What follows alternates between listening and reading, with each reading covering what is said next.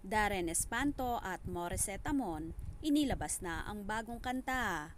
Kung kayo ay bago sa channel ko, maaaring mag-subscribe and hit my notification bell for more updates.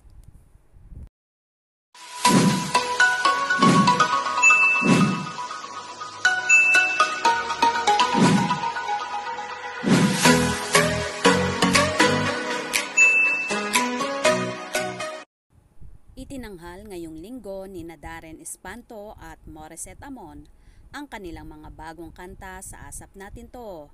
Hataw si Espanto sa pagkanta at pagsayaw ng bago niyang single na Tama Na na inilabas noong biyernes. Tinatalakay ng tama na ang pag-alis sa isang toxic relationship.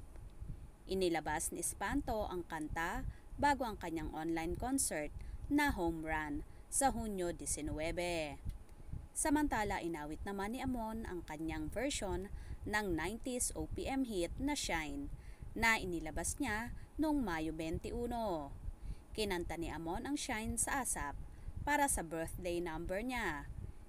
Ipagdiriwang ng binansagang Asia Sponix ang kanyang ika-25 kaarawan sa Hunyo 2. Nirecord ni Amon ang Shine na likha ng kilalang songwriter na si Trina Belamede para na rin sa ika-25 anibersaryo ng kanta. Nakatakdang ilabas ang music video ng Shine sa YouTube channel ni Amon ngayong alas 6 ng gabi ng linggo.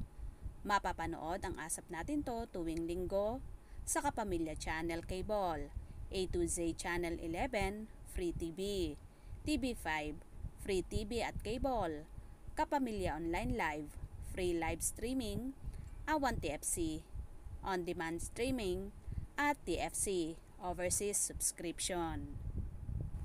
Bonggang-bongga nga ang dalawa ni Darren Espanto at Morissette Amon kung saan inilabas na ang kanilang mga bagong hit single.